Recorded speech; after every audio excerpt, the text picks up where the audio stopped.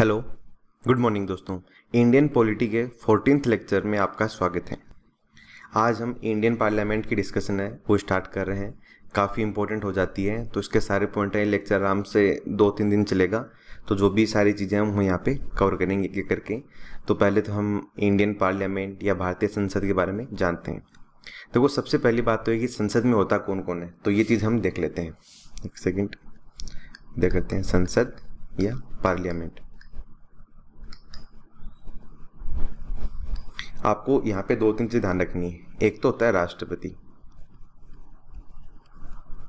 और इसके बाद में एक साइड होती है लोकसभा और एक साइड होती है राज्यसभा। लोकसभा वो लोअर सदन होता है और राज्यसभा होता है, वो होती है अपर सदन। और जैसा हम लोग जानते हैं कि राज्यसभा कभी डिजोल्व नहीं होती, इसके सदस्यों का जो कार्यकाल है वो छः साल होता है और लोकसभा के सदस्यों का कार्यकाल पाँच साल होता है और ये कभी भी भंग की जा सकती है। और जो प्रधानमंत्री है, वो वैसे कहते हैं कि लोकसभा के बहुमत दल का नेता होता है, बट ऐसा कोई ज़रूरी नहीं है। प्रधानमंत्री राज्यसभा के भी किसी सदस्य को बनाया जा सकता है। जैसे कि मनमोहन सिंह जी को पहले बनाया गया था तो ये कुछ फैक्ट हमें ध्यान में रखने वैसे रियल मतलब ये होता है कि जो पार्टी मेजोरिटी में होती है ना, उस पार्टी का सदस्य है, वो पर्सन है, वो बेसिकली प्रधानमंत्री बनता है। अब वो चाहे अपर सदन से भी बन सकता है, चाहे लोअर सदन से भी, वो डिपेंड करता है कि कैसे कैसे है। तो ये चीज़ें हैं। संसद के अंदर बेसिकली तीन चीज़ें आती हैं, ये आपको याद रखनी है। एक तो राष्ट्रपति, एक साइड लोकसभा और एक साइड राज्यसभा। लोकसभा की बात करें तो इसके लिए आर्टिकल है seventy nine article seventy nine ये कहता है कि भाई साहब, एक लोअर सदन लोकसभा होगी, जिसका हेड होगा, प्रधानमंत्री होगा, वगैरह वगैरह। और राज्यसभा की बात करें, इसके बारे में आर्टिकल एट्टी में उल्लेख किया गया है। मतलब कि राज्यसभा के बारे में आर्टिकल 80 या अनुच्छेद 80 में ये चीज़ मेंशन की गई है। और देखो, अगर हम बात करें मेंबर्स की तो स्टार्टिंग की जो बात थी ना, उस टाइम पे ये था कि लोकसभा में तो टोटल सदस्य थे 530 और राज्यसभा की बात की गई थी, वो की गई थी 233 बट खैर आज को आपको पता है कि सदस्यों की संख्या बढ़ा दी गई है तो वो फैक्ट भी आपको ध्यान में रखना है।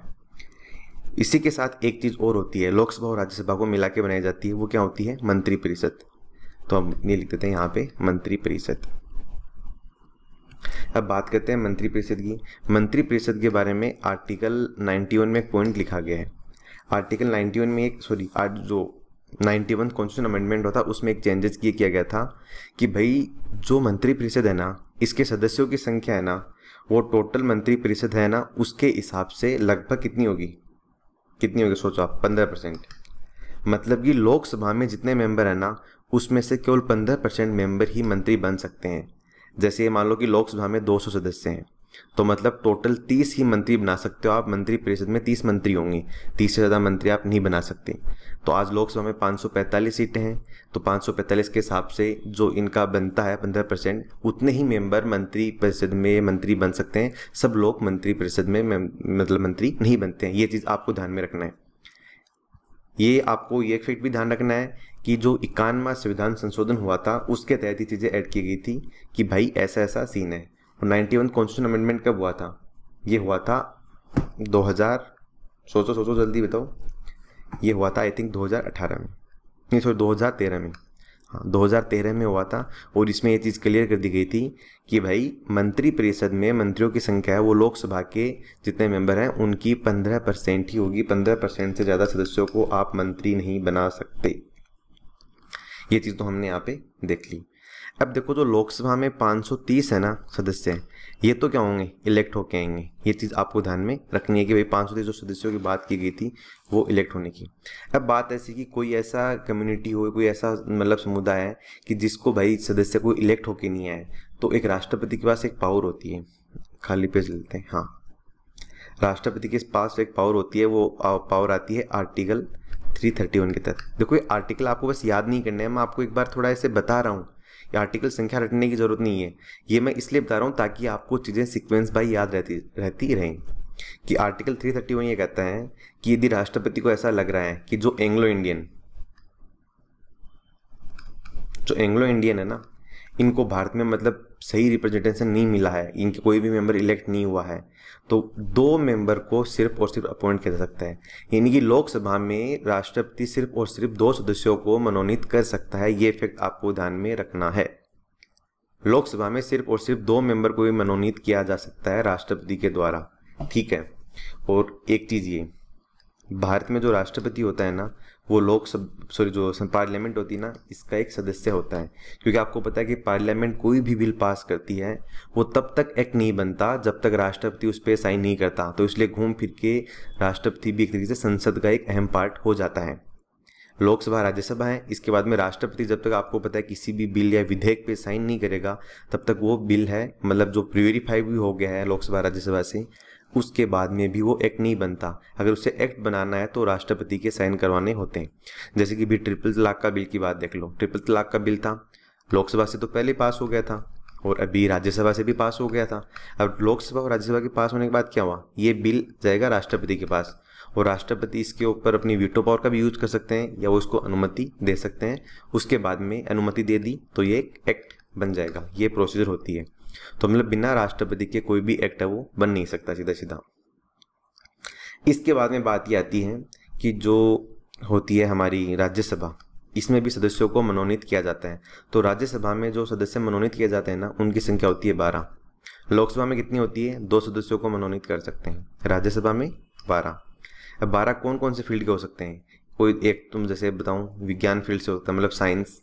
इसके बाद में एक आर्ट या कला जिसे हम बोल सकते हैं।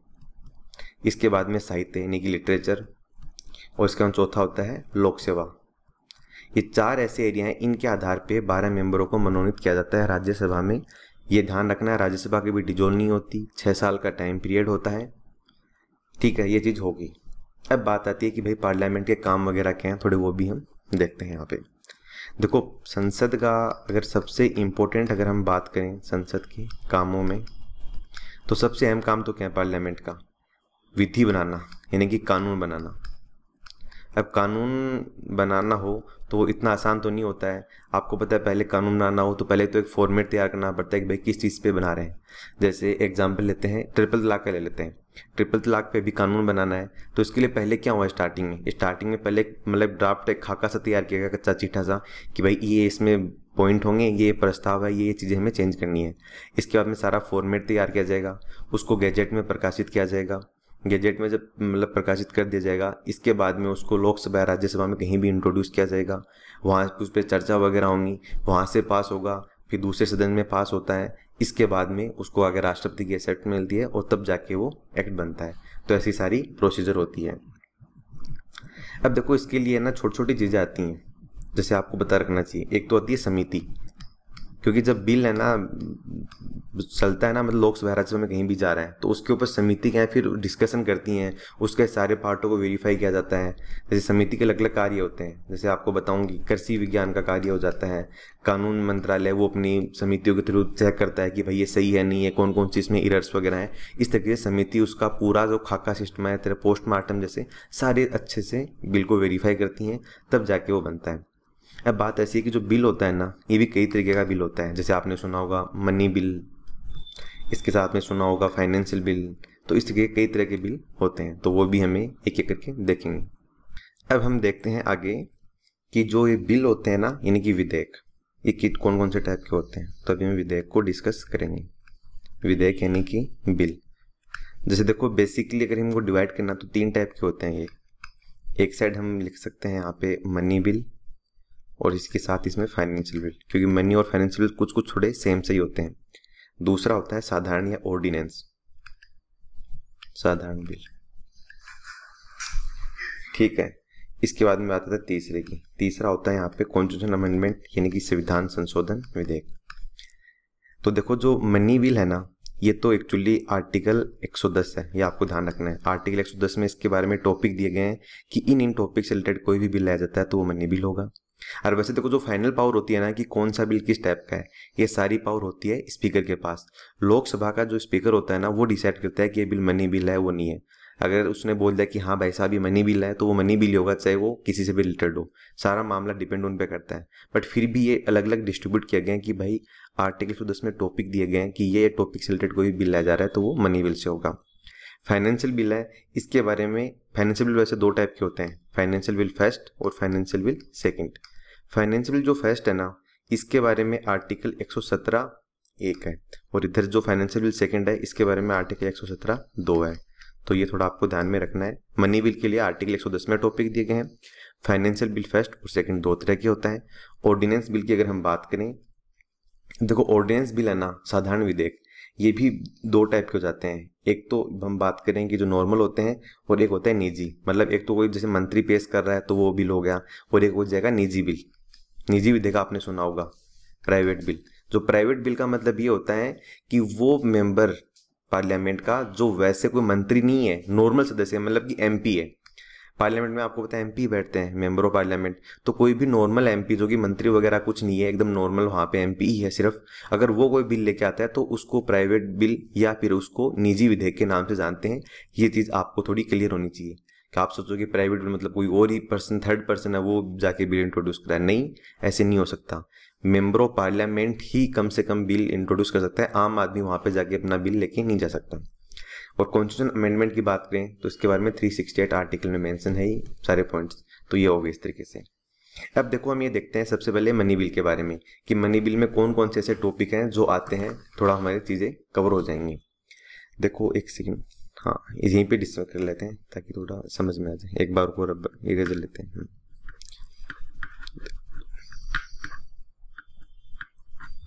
मनी बिल को हम यहाँ पे कवर करते हैं। देखो, कोई भी बिल है ना, वो मनी बिल तब होगा जब इनमें से कोई एक टॉपिक शामिल हो। कौन कौन से टॉपिक हैं? या तो देखो गवर्नमेंट है ना, कोई टैक्स हटा रही हो, कोई टैक्स लगा रही हो, या फिर टैक्स को रेगुलेट कर रही हो मतलब टैक्स से रिलेटेड हो गया। या फिर जो इंडियन गवर्नमेंट है ना, वो कोई भी एजेंसी के लिए लोन वगैरह है, उसको रेगुलेट वगैरह करने के लिए बिल लेके आ रही हो। मतलब देखो, आपको मैं सीधी सी बात बोलूँ ना तो मनी बिल का मतलब ये होता है कि वो बिल जो भारत की फाइनेंशियल जो स्ट्रेंथ है ना, इसको इफ़ेक्ट करता हो ना मतलब बहुत ही इंपॉर्टेंट हो जाता है फाइनेंशियली वो बिल बेसिकली मनी बिल होता है। अब आपको यहाँ लगे आती बता दूँ कि जो आधार था ना, इसको भी पार्लियामेंट में मनी बिल के तौर पर इंट्रोड्यूस किया गया था। कैसे? क्योंकि देखो, आपको पता है कि आधार को जो पीडीएस वाली फैसिलिटी थी ना, इसमें कंपलसरी कर दिया गया था। क्यों? कंपलसरी ऐसे कर दिया गया था क्योंकि जो पीडीएस में जो भी राशन दिया जाता है लोगों को, वो बेसिकली कहाँ से दिया जाता है? वो गवर्नमेंट का कंसोलिडेशन फंड होता है, जिसे हम बोलते हैं कि भारत की संचित निधि होती है ना कंसोलिडेट फंड उस संचित निधि से वो पैसा आता है और उसके थ्रू वो डिस्ट्रीब्यूट की जाती हैं, लोगों को अनाज वगैरह, जो भी चीज़ें डिस्ट्रीब्यूट की जाती हैं। अब गवर्नमेंट ने क्या दिमाग लगाया कि भाई साहब, जो आधार है ना वो मतलब पीडीएस के लिए मैंडेटरी कर दिया। अब इसका मतलब क्या हुआ? ये भारत के लिए संचित निधि पे मतलब इस पे इफ़ेक्ट कर रहा है। तो इसलिए इसको पैसे से कनेक्ट करके और as a money bill introduce किया गया था। खैर, इस पर कॉन्ट्रावर्सी भी काफ़ी क्रिएट हुई थी बट वो हमारे लिए यहाँ पे अब इम्पोर्टेंट नहीं है, क्योंकि फाइनल पावर किसके पास होती है? मनी बिल और कोई भी बिल है वो डिसाइड करने की। वो होती है स्पीकर और एक बात ये मनी बिल है, वो प्रेसिडेंट की अनुमति से पेश किया जाता है। मतलब अगर आपको मनी बिल इंट्रोड्यूस करना है ना तो पहले राष्ट्रपति से अनुमति लेनी होती है। इसीलिए मनी बिल को राष्ट्रपति रोक के नहीं रख सकते बाद में। क्यों? क्योंकि राष्ट्रपति ने पहले ही अनुमति दी है, तब जो जाके बिल पास मतलब बिल है, वो इंट्रोड्यूस किया गया है। अगर राष्ट्रपति से पहले अनुमति ले ली कि हाँ भाई साहब, हम ये बिल लेके आ रहे हैं, उसके बाद वापस क्या बार बार उस चीज़ के लिए ड्रामा करना पड़ेगा? तो ये चीज़ आपको ध्यान में रखनी है कि मनी बिल है इसके लिए राष्ट्रपति से पहले एसेट लेनी होती है। राष्ट्रपति की अनुमति के बाद ही पेश किया जा सकता है। ऐसे इसको पेश नहीं कर सकते और मनी बिल सिर्फ़ और सिर्फ़ लोकसभा में पास किया जाता है। राज्यसभा में सिर्फ़ और सिर्फ़ इसके पास फोर्टीन डेज़ की पावर होती है कि वो इसको रोक ले बस। बाकी वो इस पर डिस्कस विस्कस कुछ भी कर सकती है बट मतलब उसका कोई चेंज नहीं कर सकती उसमें। चौदह दिन बैठ के आराम से डिस्कशन कर सकती है, गाली दे सकती है, कुछ भी कर सकती है कि हाँ भाई अच्छा नहीं किया, उन्होंने बहुत बेकार किया, वगैरह वगैरह। बट जो कहते हैं ना फाइनल पावर वो लोकसभा के पास ही होती है। जो ऐसा लोकसभा ने डन कर दिया, वही फाइनल हो जाता है। इसी के साथ ही जैसे कि भारत की गवर्नमेंट मतलब इंडियन गवर्नमेंट के ऊपर कोई पहले का लोन वगैरह है, वो चुकाना है तो उसको लेके कोई भी चेंजेस किए गए हों तो वो सारे जो बिल होते हैं, वो एक्चुअली मनी बिल में काउंट है, वो किए जाते हैं। इसी के साथ ही जैसे मैंने आपको बताया ना, कि जो पीडीएस में जो पैसा कोई भी चीज़ें दी जा रही हैं कंसोलिडेट फंड्स के थ्रू तो वो भी संचित निधि से आ रहा है। इसका मतलब उससे रिलेटेड कोई भी बिल है, वो मनी बिल हो जाएगा, और इसी से बेसिस पे गवर्नमेंट ने आधार को as a money bill introduce किया था। हो गई ये सारी चीज़ें। इसी के बाद में देखो एक छोटी चीज़ आपको यहाँ बता देता हूँ। एक मिनट खाली पेज लेते हैं। कि जो आपके दिमाग में होगा कि यार गवर्नमेंट के पास पैसा है, वो कहाँ कहाँ होता है? देखो गवर्नमेंट के पास जो पैसा है ना, वो तीन फंडों में होता है। एक तो होता है संचित निधि या जिसे हम बोलते हैं कंसोलिडेट फंड जो कि सबसे मेन होता है। मैक्सिमम जो पैसा होता है ना मतलब जो सैलरी होती है लोगों की, जो एम्प्लॉय होते हैं गवर्नमेंट के even high court supreme court जज वगैरह और भी जो गवर्नमेंट सर्वेंट हैं, उनको सारी जो सैलरी दी जाती है, वो भारत की संचित निधि से ही दी जाती है। मेन फंड ये होता है और ये ध्यान रखना संचित निधि, यानी कि कंसोलेट फंड से पैसा निकालना हो तो पार्लियामेंट की अनुमति लेनी पड़ती है। बिना पार्लियामेंट की अनुमति से आप इससे पैसा नहीं निकाल सकते, ये फैक्ट आपको याद रखना है। दूसरे टाइप का एक फंड और होता है, जो होता है public account fund public account fund public account fund है ना, ये फंड देखो बेसिकली पैसा निकालना हो इस फंड से तो पार्लियामेंट की हमें अनुमति की ज़रूरत नहीं होती है। और मैं आपको बता दूँ, सिर्फ़ और सिर्फ़ गवर्नमेंट इसके लिए आदेश जारी करती है कि हाँ भाई साहब, इससे इतना पैसा निकाला जाए तो निकाल लिया जाता है। खैर, इसमें पैसा कम होता है, इतना नहीं होता जितना कि इसमें होता है कंसोलिडेट फंड में। क्योंकि मैक्सिमम जो गवर्नमेंट की जितनी भी इनकम होती है, इनकम टैक्स वगैरह, कैपिटल टैक्स, और भी तरह, बहुत सारे टैक्स से जो रिवेन्यू होता है, वो सारा का सारा गवर्नमेंट का पैसा संचित निधि में ही जाके जमा होता है। फिर यहीं से पार्लियामेंट की अनुमति से उसको यूज़ किया जाता है। पब्लिक अकाउंट में वो पैसा जाता है, जैसे मैं आपको बता दूँ, गवर्नमेंट आपको पता है कि स्टाम्प वगैरह सेल करती है, पोस्ट ऑफ़िस के स्टाम्प हो गए, या फिर और भी जो, और मतलब जो पहले तार वगैरह होता था, टेलीग्राम जैसी चीज़ें थी, राजस्व है, यानी कि जो गवर्नमेंट को रिवेन्यू से जो स्टाम्प बेचती है, वहाँ पे भी टैक्स जो पैसे कलेक्ट होते हैं या फिर जो छोटी छोटी गवर्नमेंट के पास सेविंग जमा होती हैं, वो सारा पैसा इसमें पब्लिक अकाउंट फंड में जाता है। और अगर इससे पैसा निकालना हो तो उसके लिए पार्लियामेंट की अनुमति की ज़रूरत नहीं है। तीसरा एक इमरजेंसी फंड होता है, जो कि इमरजेंसी के लिए यूज़ किया जाता है। तो वो खैर अभी तक तो यूज़ नहीं किया गया, बस मैन ही दो हैं, आपको ये ध्यान रखने हैं कि public fund sorry public account fund और कंसोलिडेशन फंड ऑफ़ इंडिया इनमें डिफरेंस क्या है? तो ये हमने यहाँ पे देख लिया है। तो ये देखो बेसिक बेसिक चीज़ें हमने कवर कर ली। अब जो बाकी चीज़ें हैं, वो नेक्स्ट आर्टिकल में हम देखेंगे। तो फ़िलहाल की डिस्कशन में इतना ही है तो thank you thank you very much for discussion